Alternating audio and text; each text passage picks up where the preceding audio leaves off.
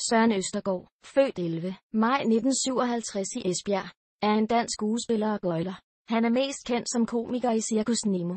Han fik både Robert og Bodil prisen for bedste mandlige hovedrolle for sin rolle i Kærlighedens Smerte fra 1993. I 2014 blev han ridder af Dannebrog.